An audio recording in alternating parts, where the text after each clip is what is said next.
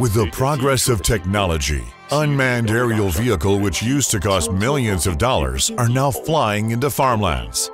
It has become farmers' important assistant. Wuxi Hanhe Aviation Technology Company Limited is quietly leading this industry and thus creates a whole new era of agriculture.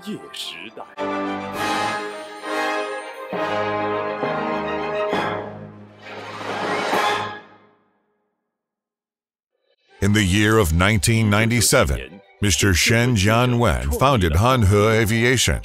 Until now, it has been 20 years of brand history. Over the years, Hanhe has accumulated and grown into a national top UAV research and development team. They keep uphold excellence, meticulous craftsman spirit, always focus on R&D, production, and application. The company continuously keeps on improvement and innovation in technology. They use their action to write an entrepreneur's textbook for the UAV industry in China. In the year of 2008, Hanhe Aviation became the first company to develop the agricultural UAV in China. Year 2010, Hanhe Aviation introduced China's first agricultural UAV. Later, it gradually becomes the pioneer and leader of the agricultural UAV industry in China. Service and quality orientation.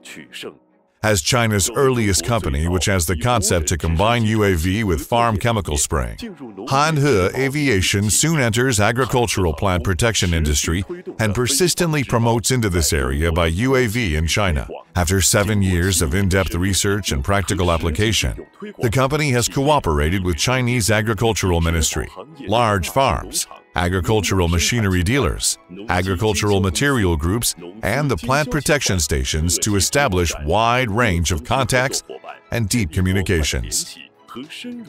Hanhe Aviation makes a great impetus for the development of agricultural UAV in China.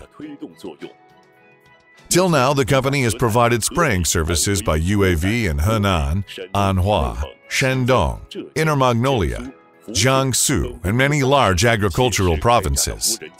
The service area has reached to hundreds of thousands of hectares.